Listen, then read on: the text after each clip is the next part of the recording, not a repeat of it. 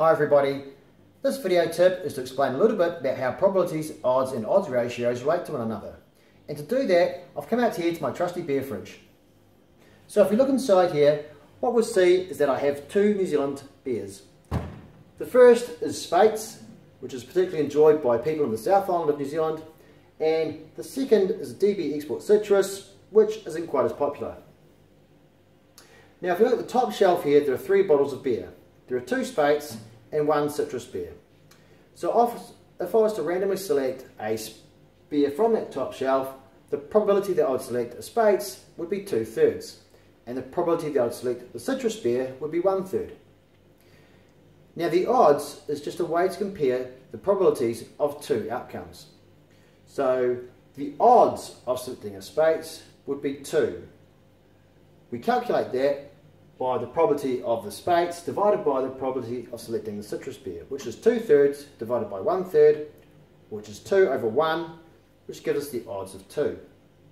And the way we interpret that is that the probability of selecting a Speight's is twice as large as the probability of selecting the citrus beer. Now if we move down to the second shelf here, there are six bottles of Speight's and one bottle of citrus. So the probabilities of selecting each type of beer would be 6 sevenths and 1 seventh respectively, or the odds of selecting a Speight's would be 6, which tells us that the probability of selecting a Speight's is 6 times greater than the probability of selecting the citrus beer. Now an odds ratio is just a way to compare two sets of odds. For example, suppose the, the top shelf represented uh, a control group and the bottom shelf represented a treatment group and we wanted to know how does the uh, odds change under the treatment group compared to the control group. And the way we calculate that is literally just to take the ratio of those two odds. So in this case, it would be 6 divided by 2, which gives us the value of 3, which tells us the, the odds of selecting a Speight's is 3 times greater on the second shelf than the odds of selecting a Speight's from the top shelf.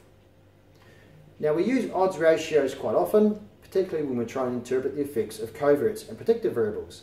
It's a way just to summarise in a comparative sense how our odds change under different sets of conditions.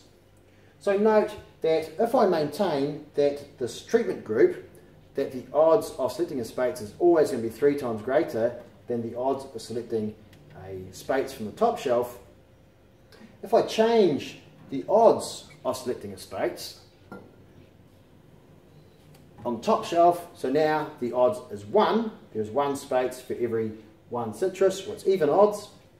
And if the odds ratio effect of the treatment effect is that the odds are three times different, that tells me that the odds on the second shelf must be 3. So 1 times the odds ratio of 3 is the odds of selecting the Speight's on the second shelf. So there you have it. I hope that's helped. Thanks very much for your attention. If you want to find out some more details, visit our news, tips and tricks page on the Proteus website. See you later. Bye.